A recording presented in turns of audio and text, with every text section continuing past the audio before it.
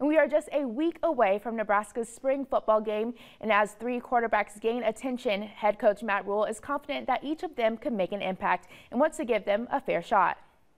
And I think one of the biggest things that you have to see is how quarterbacks handle frustration. I want them to have to fight for it and earn it. I want the quarterbacks to feel like they have the race, and all of a sudden, I want the other guy to come along and try to challenge them. I think it'll elevate all of us. Um, and then when we know, we know. Rhule says he is pushing his players to not be focused on where they stand, but whether if they look like a Big Ten winning team. He's also been able to see growth from Heinrich Haarberg in his development as a passer.